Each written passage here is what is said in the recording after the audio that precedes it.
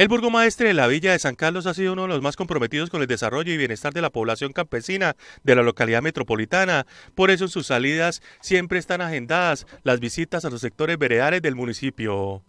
Para darles a conocer las inquietudes y algunas problemáticas que tenemos acá en la región, estamos unidos los presidentes de la Junta de cinco veredas, eh, incluyendo Guatiguará.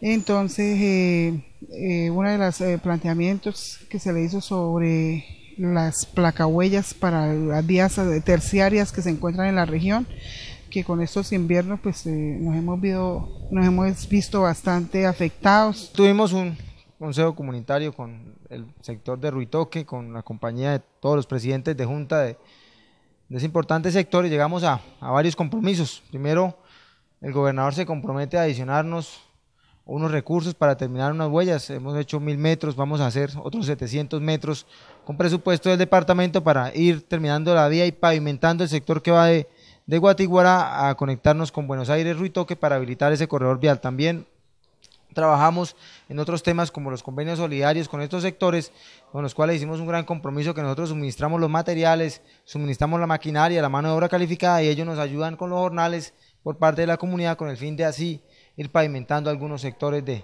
de, esas importantes veredas con una gran población de, de origen muy humilde.